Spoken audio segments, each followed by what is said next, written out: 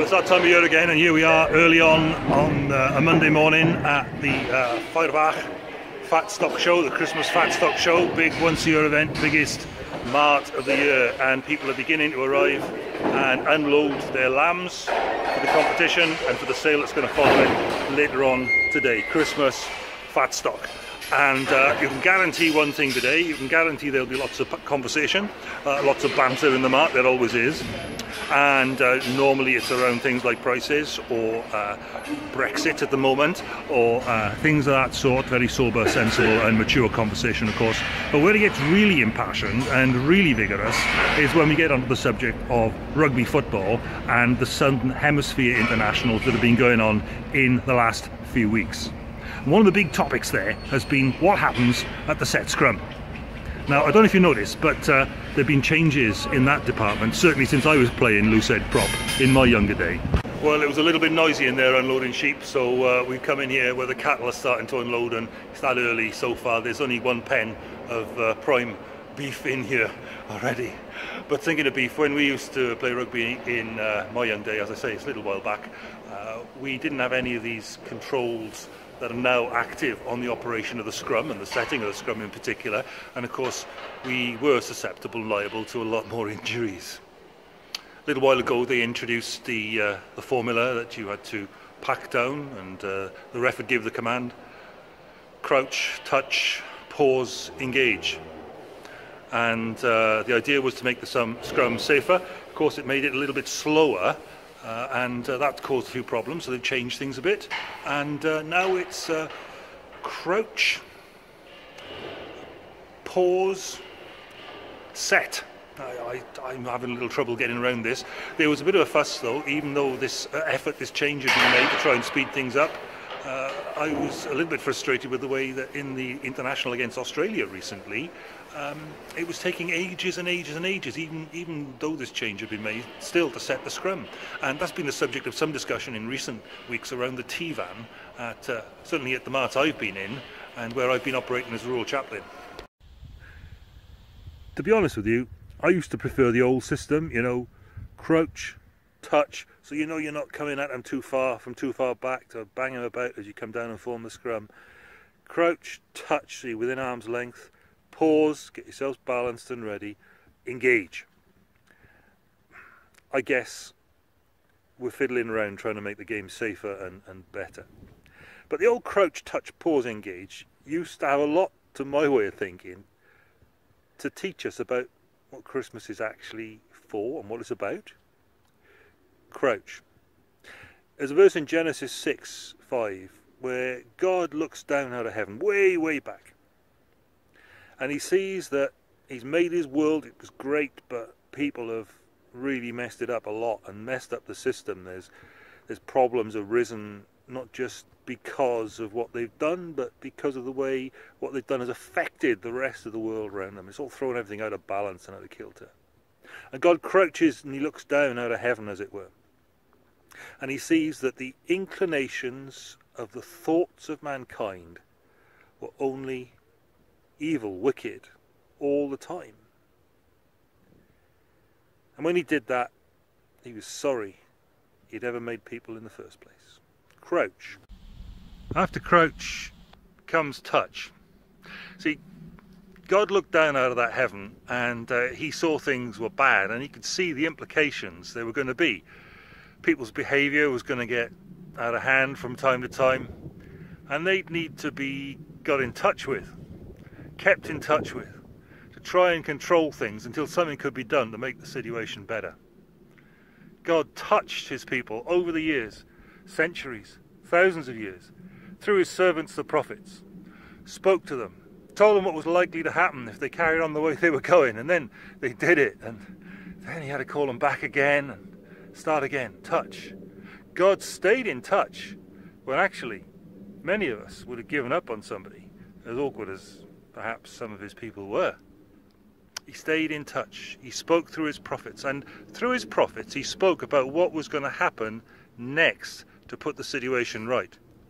And if you go along to any sort of form of Christian worship at Christmas time, you'll hear readings from people like Isaiah or maybe Malachi, some of the other prophets, Here's God staying in touch with people hundreds of years before he stepped in to actually act and could get things back on track again, to tell them what he was planning, staying in touch to keep them from running too far amuck and preparing them for what he was going to do next.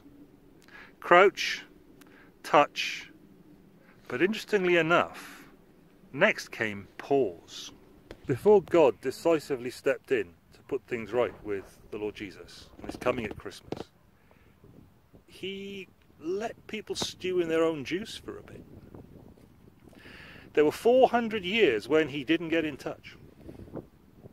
400 years to stop and reflect on where ignoring what God had said gets you. 400 years of silence from heaven. And towards the end of that time, we know people were getting a little bit worried, a little bit concerned. In fact, they were getting to their wits' end with waiting to hear from God again. It's a sign of His goodness when He stays in touch. It's a sign of our badness, relational failure, when we fail to pay attention as He gets in touch. Crouch, touch, and then God paused. Sometimes when God pauses, we really do get to stew in our own juice. Certainly at the scrum there comes a time when you have to engage. There's no point messing around and making a good old dance at the start unless you get down and get on. And uh, certainly that is the case when it comes to Christ and Christmas. Christ and Christmas is about God engaging. It's about the God who has crouched down and seen the state of the situation, the God who has touched, stayed in touch with his people to try and hold them back and, and to prepare them for what was going to come, and uh, paused, let them see the enormity of the situation and realize that they needed to focus their minds a little. And then, when the time had fully come, as it says in the book, God sent his son, born under the law, to redeem those under the law. To redeem, that is, to pay a price and buy back and get out of the mess that you'd gotten into to redeem those under the law so that they might receive the adoption of sons. Not just bailed out and left to it, but brought back out of their relational failure into the family of God. I don't just mean church, I mean the broad spread of people across time and across human history, across the world from every tribe and language and people and nation that he plans to have before the throne of God at the end. God came into the world to engage with people in their human lives, in their messy lives, in their tangled lives. Not just to give them something to do on a Sunday morning, but to be involved and engaged with us. So that you might live wholesome, healthy, fulfilling sorts of lives. So there it is then. There it is. Christmas comes at the crucial point in the setting of God's relationship with humanity. It comes at the engage stage. It comes at the point where God comes down to engage with human beings who've gone away from the plan, away from the way things were intended, and have had time to pause and reflect and see where it's got them. Now, you know as well as I do that any scrum, it comes to pieces immediately unless the opposing sides bind, unless they bind tight to one another. And although God has crouched, looked down, seen the state of affairs, touched, tried to stay in touch, continue to lead people away from things that were going to be negative and hurtful and harmful towards things that were positive and helpful and useful, paused to let humanity see the extent of the situation and the seriousness of it, and sometimes he's given us individually reason to stop and think what's going on here. He's also engaged and he's looking for those who will bind with him. You want to know the meaning of Christmas? Here we go.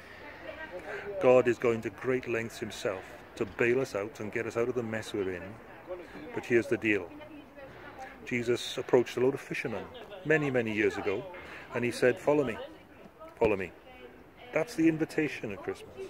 Well, the meaning is that God's come down to engage with us and draw us back and redeem lives that have been left in the state that they have by a rebellion against Him.